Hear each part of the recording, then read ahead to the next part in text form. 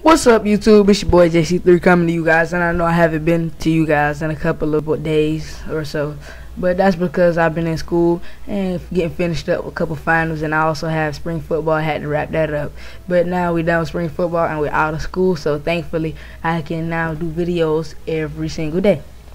Well, probably not every single day, but more than I have been doing lately. But yeah, as y'all may know or may not know, the new Ultimate Legends has been released, and there are three new Ultimate Legends, and uh, the three new Ultimate Legends are Sean Taylor, Walter Payton, and a sorry Kurt Warner. Like it should have been somebody else, but I mean they gave us a good pocket passer last week, so can't um, well too bad on a bad pocket passer this week. But first we're gonna pull up on the screen is this right here is halfback god Walter Payton.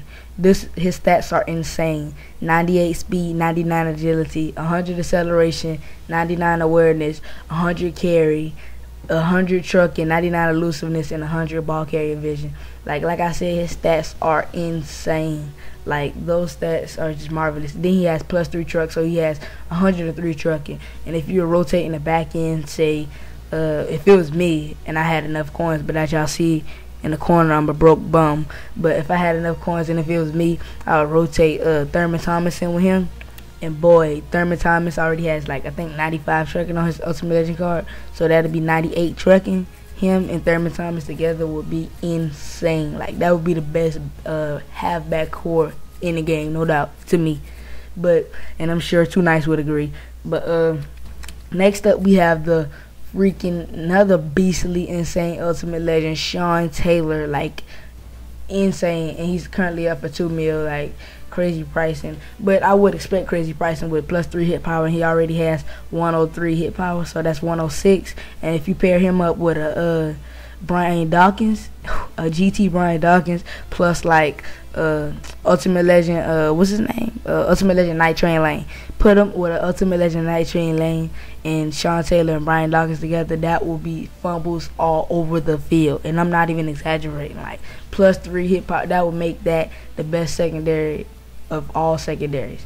The best secondary in Madden even, and he has 90 man coverage, so he can hang with some of those uh, slot receivers and won't get burnt like any other safety would. And just an insane card, as I said.